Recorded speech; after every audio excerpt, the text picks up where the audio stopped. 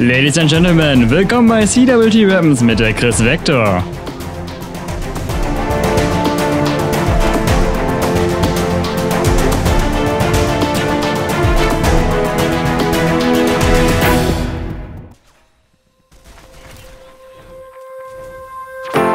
Die Chris Vector ist eine von Chris USA entwickelte Maschinenpistole. Eine technische Besonderheit dieser Waffe ist ein teilweise senkrecht bewegter Masseverschluss.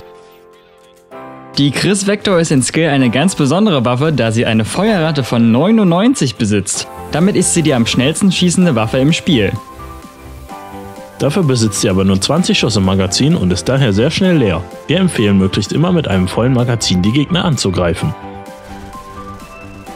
Der Schaden ist aber eher durchschnittlich und der Rückstoß ist bei einer so hohen Feuerrate nur auf kleineren Distanzen leicht zu kontrollieren. Außerdem ist man mit ihr sehr mobil, da sie sehr leicht ist. Im Game hat sie aber auch die typische umklappbare Schulterstütze, die auch das Original besitzt.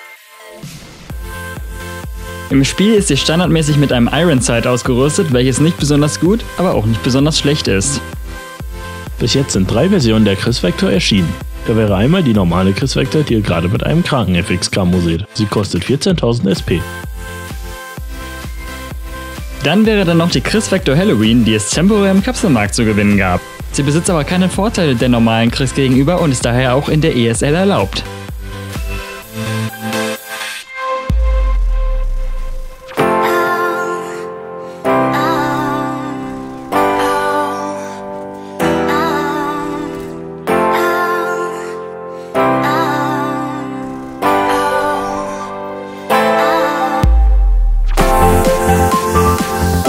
Zudem ist da die Chris Vector Honeybee, die den Kapselmarkt aber wieder verlassen hat. Sie besitzt ein Neotech-Visier und den Kapselmarkt-Boost. Zudem ist sie in der ESL verboten.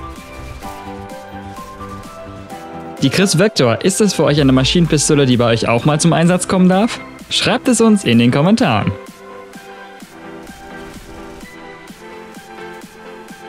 Außerdem habt ihr jetzt die Möglichkeit für die nächste Waffe euer Gameplay bei uns einzusenden. Die Daten und um welche Waffe es sich handelt werden euch jetzt eingeblendet. Wir sehen uns nächste Woche wieder zur selben Zeit am selben Ort.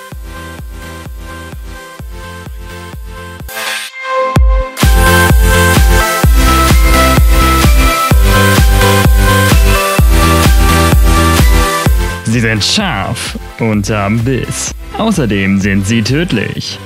CWT Weapons, die Waffenreviews. Immer montags um 20 Uhr auf Showtime Gaming.